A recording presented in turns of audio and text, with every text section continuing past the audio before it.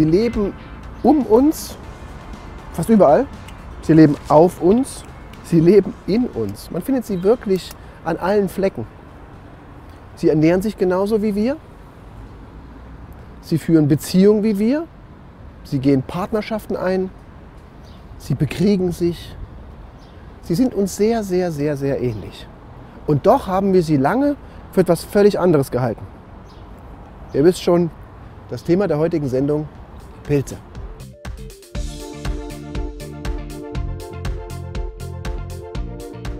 Und um uns ein bisschen näher diesem Mysterium Pilz äh, zu nähern, gucken wir uns mal die Pilze in der Sammlung an. Ähm, gehen wir in die Botanik. Ähm, Achtung, warum die Botanik? Wieso das? Ähm, hier ist der Karl, das ist der Botaniker im Naturkundemuseum. Hallo. Ähm, und ich, ich zeige euch jetzt schon mal, wie das in der Sammlung aussieht. Ähm, ja, das ist alles ein bisschen beengt, äh, nicht gerade optimal, aber man mag es kaum glauben. Diese ganze Wand ähm, mit solchen Aufbewahrungsboxen, die beinhaltet 5500 Individuen, also 5500 Pilze sind hier in unserer Sammlung, also eine gewaltige Zahl. Und da haben wir jetzt schon mal ein paar rausgeholt und die gucken wir jetzt mal an. Karl, was sind das? Was, was sind das hier, diese Das Gläser? sind jetzt die Fruchtkörper von Pilzen. Ja. Und die wurden, weil wir früher die Möglichkeiten hatten, gefriergetrocknet. Allerdings ist die Verpackung nicht ganz luftdicht und unter den ungünstigen klimatischen Bedingungen unseres Museums sieht man also, dass auch die teilweise eben aufquellen und zusammenziehen und dadurch so leichte Schrumpelungserscheinungen entstehen. Aber trotzdem kann man die Fruchtkörper noch sehr gut das sehen. sieht man schon wirklich sehr gut. Und, das, das nennt man Exikate, ne? Das sind das Pilzexikate? äh, Lufttrocknen nennt man Exikate. Alles klar. So, und was wir hier sehen, äh, das ist aber wirklich nur äh, das, was an die Oberfläche kommt. Das sind nur ähm, quasi die Vermehrungsorgane, die Reproduktionsorgane der Pilze. Das sind die Fruchtkörper. Der eigentliche Pilz, der eigentliche Organismus, der ist selten zu sehen. Der ist in der Erde. Die Fruchtkörper sind eben das Einzige, worüber sie ihre Verbreitungsorgane, die sogenannten Sporen, ausbilden können. Früher wurden Pilze zu den Pflanzen gezählt. Einfach nur aus dem Grund, weil sie sich nicht bewegen oder scheinbar nicht bewegen. Man glaubte das damals. Und sie haben tatsächlich ähm, einige Merkmale ähm, von Pflanzen. Das, kennst du ein paar? Was, was ist das Ja. zum Beispiel? Ganz wichtig ist, dass sie zum Beispiel Zellwände ausbilden können. Aber sie verdauen eigentlich mehr wie Tiere. Und, Und und sie deshalb- haben Vakuolen, ne? Sie haben Vakuolen. Wie Pflanzen? Aber, wie Pflanzen, aber sie können sich auch teilweise bewegen wie Mhm. Tiere. Man, früher hat man eben sie den Pflanzen zugeordnet, deshalb haben wir sie auch in der Botanik nach dem Motto, Pilze können nicht weglaufen. Mhm. Aber die Schleimpilze, was die sich bewegen können und weglaufen können, laufen als Amöben im wahrsten Sinne des Wortes. Dazu sollte man aber auch wissen, dass gerade die Schleimpilze laut aktueller Forschung wieder eine ganz eigene Gruppe sind. Also auch nochmal von den Pilzen abgetrennt wurden. Da reden wir später nochmal drüber in einer weiteren Sendung.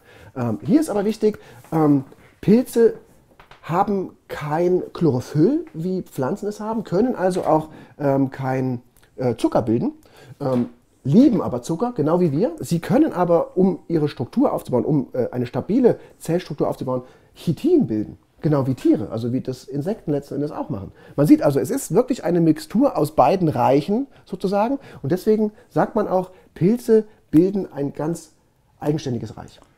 Alle Organismen brauchen Kohlenhydrate, um letztendlich Energie über die Mitochondrien zu produzieren. Und der Pilz muss es sich eben von anderen klauen. Und teilweise lebt er deshalb mit anderen Organismen in Symbiose, wie zum Beispiel mit vielen Pflanzen, Gehölzen, äh, in denen er ihnen Nährstoffe im Boden aufschließt und Wasser verfügbarer macht, als es äh, die Wurzeln alleine könnten. Ein solches Beispiel für eine so spezifische Zusammenarbeit zwischen Baum und Pilz ist die Rotkappe. Die Rotkappe ist in der Regel unter Birken zu finden. Also findet dort eine Symbiose, eine Mykorrhiza mit Birken statt. Das machen im Übrigen auch Birkenpilze. Auf der anderen Seite äh, bekommt er von den Pflanzen dafür eben Kohlenhydrate, Zucker. Aber Pilze können auch als Parasiten auftreten und äh, Pflanzen verschlingen. Sie zersetzen Holz, sie sind die wichtigsten Holzzersetzer in unserem Ökosystem und sie können auch äh, tierisches Material gut verwerten. Schimmelpilze zum Beispiel. Ganz wesentlicher Unterschied zu den Tieren bestehen darin, dass sie eine Zellwände haben, ähm, genau wie Pflanzen, und sogenannte Vakuolen. Das sind Speicherorgane, wie sie auch Pflanzen haben, um Energie zu speichern letzten Endes. Darüber hinaus haben sie aber entgegen Pflanzen keine Organelle oder keine Plastiden, das heißt kein Chlorophyll. Sie können also auch keine Photosynthese betreiben. Und außerdem enthält die Zellwand der meisten Pilze Chitin. Chitin haben nun wieder nur Tiere, also Insekten, um das Exoskelett aufzubauen. Pilzen fehlt darüber hinaus das charakteristische Polysaccharid Zellulose, also auch ein Zucker, wie ihn Pflanzen haben. Um die organischen Stoffe aufzuspalten, also zu verdauen, benötigen sie Enzyme, genau wie Tiere. Speichern werden sie diese energiereichen Stoffe in Form von Glykogen. Das ist eine Art Zucker, ähm, der letztendlich die Speicherform von Traubenzucker darstellt, genau wie bei Tieren. Pflanzen hingegen bilden Stärke als Speichermedium. Unterm Strich beweisen diese Facts eben, Pilze sind etwas ganz Eigenständiges. Es gibt also Tiere, Pflanzen und Pilze. So, Karl, wir würden jetzt gerne mal in den Wald gehen und wollen uns mal dieses äh, Pilzgeflecht, dieses Myzel, diese Hyphen mal anschauen und sind da mal wirklich auf der Suche. Die Frage ist jetzt, ähm, kann ich den Pilz anfassen? Man sagt ja immer wieder, Pilze sind giftig, da muss man wirklich Obacht geben. Hast du da irgendwie eine, eine Regel oder woran muss ich mich halten? Also Pilze kann ich erstmal immer anfassen. Aber man muss wirklich aufpassen, die Mehrzahl der Pilze ist giftig. Und sogar manche Pilze, die essbar sind, sind aber rohgiftig. Mhm. Und deshalb ist es immer ganz wichtig, bei Pilzgerichten die Pilze gut durchzugaren. Und man muss auch eins berücksichtigen, Pilze nehmen sehr gut äh, Giftstoffe aus der Natur, Schwermetalle, mhm. radioaktive Nukleide auf. Und auch da ist es also auch wichtig, immer wo habe ich die Pilze gesammelt. Hoffentlich nicht gerade in der Nähe einer ehemaligen äh, Deponie. Okay. Und gibt es da irgendwie eine Eselsbrücke?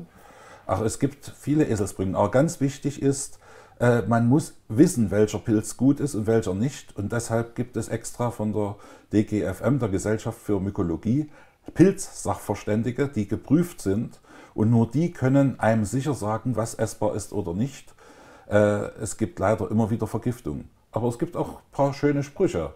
Zum Beispiel die sehr ähnlichen Morscheln und Lorscheln, wo nicht nur der Name, sondern auch die Form des Fruchtkörpers sehr ähnlich ist. Da sagt man, Morscheln mit M wie Magen kann jeder gut vertragen, Lorscheln mit L wie Luder sind ein gefährlicher Bruder. Das ist doch mal eine Eselsbrücke, die kann sich jeder merken. So, dann heißt es ab, raus in den Wald. Für die heutige Sendung haben wir uns mal wieder in den Leipziger Auwald begeben. Und man hört schon, hier ist richtig was los. Die Vögel zwitschern, da wird kommuniziert ohne Ende. Pilze hingegen sind eher leise. Heißt aber nicht, dass sie nicht kommunizieren würden. Ganz allgemein muss man sagen, Pilze gibt es schon ziemlich lange. Vor etwa 800 Millionen Jahren haben sie sich von den Entwicklungslinien der Tiere und Pflanzen abgespalten. Und dann vor 400 Millionen Jahren sind sie dann gemeinsam mit den Pflanzen quasi an Land gekommen. Und das äh, zeigt sich auch in einer ganz interessanten Partnerschaft. Wir haben ja Pilze in der Regel, wenn wir sie sehen, als Fruchtkörper als Pilze, die man auch essen kann. Aber der eigentliche Pilz ist im Boden. Und in diesem Boden, dieses Geflecht, dieses Myzel, ähm, hat eine ganz besondere Eigenschaft und ist ein Kommunikationsorgan und ein Verbindungsglied zu den Pflanzen. Und das äh, zeigt sich auch in einer ganz interessanten Partnerschaft. Wir haben ja Pilze in der Regel, wenn wir sie sehen, als Fruchtkörper, als Pilze, die man auch essen kann. Aber der eigentliche Pilz ist im Boden. Und in diesem Boden, dieses Geflecht, dieses Myzel, ähm, hat eine ganz besondere Eigenschaft und ist ein Kommunikationsorgan und ein Verbindungsglied zu den Pflanzen. Und diese, dieses gemeinsame Erscheinen von Pflanzen und Pilzen vor 400 Millionen Jahren zeigt das. Diese Partnerschaft existiert schon sehr, sehr, sehr, sehr lange und hat unglaubliche Ergebnisse erbracht. Wir nennen das Ganze, diese Symbiose, also diese Zusammenarbeit von Pflanze und Pilz, Mykorrhiza. Wir haben den eigentlichen Pilzkörper im Boden, sogenannter Thallus, ähm, und diese Hyphen, diese Fäden, die laufen hier überall im Waldboden, gehen bis 1,80 Meter in die Tiefe. Und der Witz ist, oder das Interessante ist, dass sie sich mit den Pflanzen verbinden, dass sie die Wurzeln berühren, erobern, durchdringen, umschließen Und auf diese Art und Weise ein Netzwerk gebildet wird, ein regelrechtes Kommunikationsnetzwerk. Das Pilzmyzel, also der eigentliche Pilzkörper, ist an sich schon schwer zu sehen. Im Moment ist es aber relativ trocken. Insofern zieht sich auch dieses Pilzmyzel eher zurück, beziehungsweise ähm, es schrumpft. Wenn es Herbst ist, wenn es feucht ist, dann quillt es wieder auf. Dann tritt es teilweise auch an die Oberfläche und man sieht es als feines, weißes Pilzgeflecht an den Wurzeln, zum Teil auch an verrotteten Baumstämmen. Dann kommt es wirklich an die Oberfläche. Solange die Beziehung zwischen Pflanze und Pilz funktioniert, sind die Pilze auch ganz cool. Aber wie in jeder guten Beziehung gibt es da auch mal Stress. Das heißt, solange es Zucker gibt, sind die Pilze friedlich. Sobald der Zuckernachschub aber erlischt, werden die Pilze ein bisschen zickig und spalten dann die Zellulose in den Pflanzen auf. So lange, bis wieder Zucker kommt und dann sind sie wieder friedlich. Andererseits versorgen Pilze Bäume, wie gesagt, auch mit Stickstoff und Phosphor und erhalten im Gegenzug von den Bäumen Kohlenhydrate, da sie die ja nicht selber bilden können, aber brauchen zum Leben. Pilze stehen also genauso auf Zucker wie wir. Wissenschaftlich beschrieben sind heute etwa 100.000 Pilzarten. Man geht aber davon aus, dass es 1,5 Millionen gibt. Pilze können Mehrzeller sein, es können Einzeller sein. Pilze können als Schmarotzer leben. Sie leben in unserem Körper, in unserem Darm, helfen ähm, Dinge zu zersetzen, quasi vor allen Dingen Holz zu zersetzen. Sie sind Destruenten und als Zersetzer sogar die wichtigsten überhaupt auf dem Planeten. Sie sorgen dafür, dass all die organische Substanz wieder dem Nährstoff- und Stoffkreislauf zugeführt wird, dass andere Lebewesen dies verwerten können. Das macht sie zu unglaublich wichtigen Organismen. Ähm, sie können Parasiten sein ähm, und wie gesagt, sie leben beinahe überall. Als Parasiten oder Schmarotzer befallen sie hingegen alle möglichen Pflanzen, aber auch den Menschen. Wir kennen zum Beispiel den Nagelpilz ähm, der Menschen befallen kann. Ähm, bei Pflanzen sieht man aber auch so sonderbare Strukturen wie Hexenbesen oder Kräuselblätter. Das heißt, dass sie Blätter befallen und dann die Struktur verändern. All das können Pilze. Eine sehr viel drastische Interaktion ähm, begehen Pilze mit Tieren. Sogenannte Schmarotzerpilze sind in der Lage, das Verhalten ihrer Wirtstiere zu verändern. Der Schmarotzerpilz Ophiocordyceps zum Beispiel ist in der Lage, in Rossameisen hineinzuwachsen. Das heißt, diese Rossameisen nehmen die Sporen des Pilzes auf und diese Sporen wachsen dann im Gehirn der Ameisen aus und beeinflussen sein Verhalten. Diese Ameisen werden dann sich an eine spezielle Pflanze ähm, nähern und dort in die Blätter verbeißen. Und in diesen Blättern wächst dann oder in diese Blätter hinein wächst der Pilz und kann sich wieder vermehren. Das heißt, aus dem Kopf der Ameise, die sich in das Blatt verbissen hat, wächst dann der Pilz heraus, der Fruchtkörper und kann wieder Sporen aussenden, die dann wiederum von anderen Rossameisen aufgenommen werden. Das ist schon ein bisschen gruselig. Vor etwa 40 bis 50 Millionen Jahren lebten solche Ameisen auch in den tropisch-subtropischen Wäldern in Deutschland. Damals im Eozän ähm, fanden sie sich in den Wäldern und diese Art von Schmarotzertum fand auch hier statt. Woher wissen wir das? Wir wissen das aus fossilen Hinterlassenschaften der sogenannten Grube Messel, der Messelfauna. Aber nicht nur Insekten können von solchen schmarotzenden Pilzen heimgesucht werden. Batrachochytrium, ein schmarotzender Pilz, befällt unter anderem die Haut von Amphibien und ist weitestgehend für das bekannte Amphibiensterben verantwortlich. Die Sporen vom Batrachochytrium ähm, sind im Wasser, quasi in den Tümpeln und Teichen. Und wenn die Amphibien da durchschwimmen, auftauchen, werden die Sporen die Haut benetzen und dann dort letzten Endes auswachsen. Der Pilz wächst und konsumiert letzten Endes die Haut der Amphibien. Hier an dieser Rinde sieht man zum Beispiel so ein etwas älteres Myzel, das schon ein bisschen ausgetrocknet ist. Man muss sich aber nur mal vorstellen, dass in einem Quadratzentimeter Waldboden ein Geflecht aus Pilzhüfen aus Myzel vorhanden ist, das aneinandergereiht 1000 Meter lang ist. Auf einem Quadratzentimeter. 1000 Meter lang. Ein einzelner Pilzkörper kann dabei auf einem Hektar Fläche eine Strecke, also wenn man die einzelnen Fäden aneinander reihen würde, von mehreren Milliarden Metern erreichen. Das muss man sich mal überlegen. Das ist Wahnsinn. Also ein solches Netzwerk, ein solches Schaltwerk, ein solches Computernetz gibt es in unserer technologischen Welt nicht. Da ist uns dieser Organismus weit überlegen. Und das ist genau das Wood Wide Web, von dem ich rede. Hm, hier nicht. Mann. Kein Netz. Ich habe einfach kein Netz, das gibt's doch nicht. 21. Jahrhundert, Internet, nicht verfügbar. Das ist aber ein gutes Thema.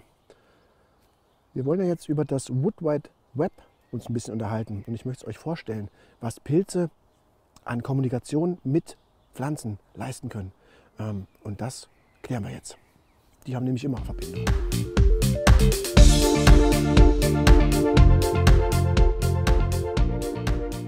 Und dieses Wood Wide Web, dieses Kommunikationsorgan, dieses Internet des Waldes kann viel mehr als das Internet der Menschen. Viel mehr. Um diese organischen Substanzen wie etwa Holz oder alle möglichen Pflanzenreste äh, abzubauen, das hatten wir schon erzählt, brauchen Pilze natürlich Enzyme. Ähm, so wie wir Menschen letztendlich auch. Organische Materie spalten sie über Enzyme auf. Und sie tun das auf eine ähnliche Art und Weise wie wir. In unserem Darm, durch die Darmzotten, haben wir eine extreme Vergrößerung der Oberfläche. Und Pilze nutzen dafür ihr Myzel, ihre Hyphen. Auch da diese extreme Vergrößerung der Oberfläche. Wie sie das aber für die Kommunikation nutzen, ähm, das ist nochmal eine ganz andere Nummer. Wie gesagt, diese Pilzhöfen, die wachsen oder verwachsen mit den Wurzeln von Bäumen, von Pflanzen, mit Orchideen und so weiter und gehen eine ganz wundervolle ähm, Verknüpfung ein. Dabei können sie in die Wurzeln reinwachsen. Das nennt sich Endomykorrhiza. Also verwachsen richtig mit den Baumwurzeln. Ähm, größere Pilze, wie zum Beispiel auch die äh, Ständerpilze, die wir kennen, wie Steinpilz und so weiter, die bilden eher ein Ektomykorrhiza. Das heißt, sie umkleiden ähm, das Wurzelgeflecht der Bäume. Durch diese enorm vergrößerte Oberfläche und dieses Netzwerk sind sie in der Lage, zum einen Informationen zu transportieren und das geht so weit, dass Bäume miteinander sprechen können über den Übersetzer. Und der Übersetzer sind diese Pilze. Das heißt, wenn beispielsweise ein Baum von einem Insekt angegriffen wird, wenn also ein Rüsselkäfer versucht, einen Baum ähm, anzuzapfen oder Läuse versuchen, Blätter anzuzapfen, dann kann diese Pflanze ein Signal weitergeben über die Pilze an andere Pflanzen und kann sagen, Hilfe, ich werde angegriffen. Ich warne euch davor, unternehmt etwas. Und das funktioniert. Und das geht noch viel weiter. Es geht auch so weit, dass wenn gewisse Mangelsituationen herrschen an Nährstoffen, vor allen Dingen an Phosphor und Stickstoff, dass ein Baum sagen kann, da fehlt mir etwas.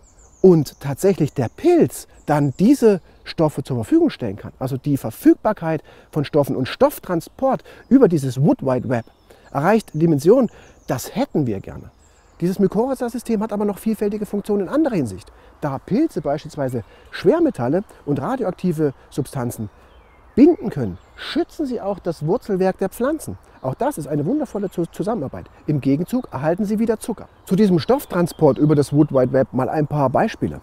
Douglas-Tannen, also Douglasien beispielsweise, können über das Wood Wide Web Kohlenstoff, also Kohlenhydrate, an Birken weiterleiten.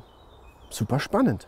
Diese aus Pilzmyzel und Pflanzenwurzel letzten Endes herauskommende Superwurzel erschließt quasi alle Nährstoffe, die hier vorkommen und macht sie verfügbar, ähm, schafft ein Transportsystem. Und dabei ist es so, dass die Pilze sich in der Regel den Partner aussuchen, auch mehrere Partner haben können.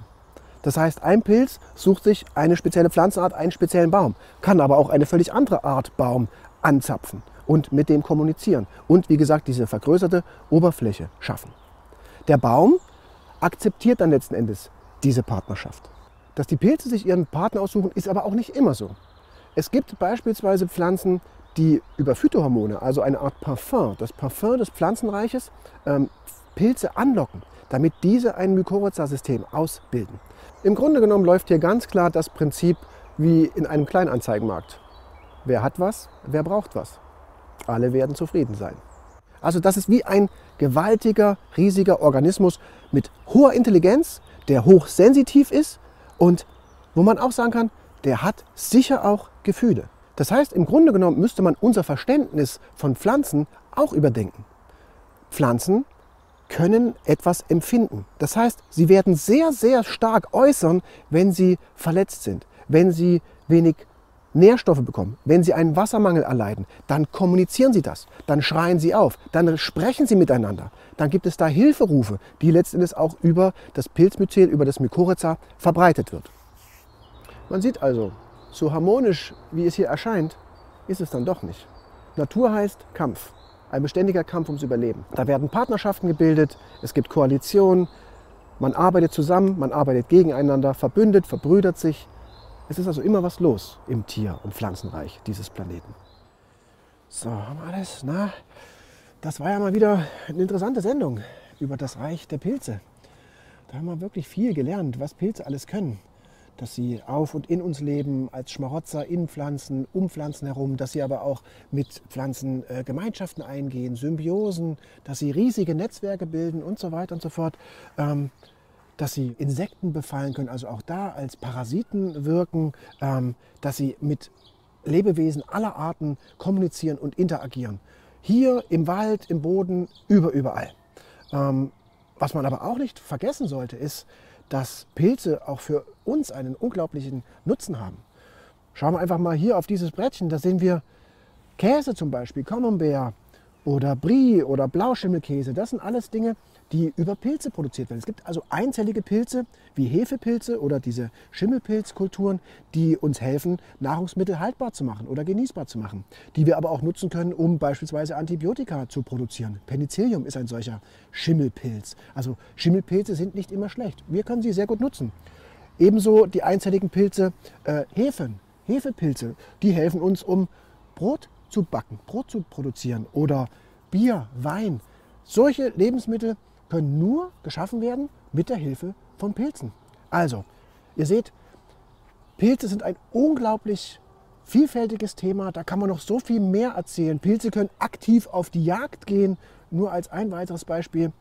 Ich empfehle euch einfach mal, schaut euch mal unser PDF an. Wir werden euch ein PDF zur Verfügung stellen, wo wir all die wichtigsten Informationen mal zusammenstellen. Ähm, das könnt ihr euch runterladen und dann mal wirklich noch ein bisschen tiefer in die wundervolle Welt der Pilze einsteigen. So, und bevor ich jetzt dieses leckere Stückchen Käse hier verspeise mit einem frischen Brot, ähm, vergesst nicht, eure Kommentare zu hinterlassen. Äh, sagt uns, was hat euch gefallen, was erwartet ihr vielleicht auch in Zukunft. Ähm, löchert uns mit neuen Themen, mit Fragen, ähm, helft uns immer besser zu werden, ähm, bleibt uns treu. Und was ich natürlich nicht vergessen darf, bleibt immer schön neugierig.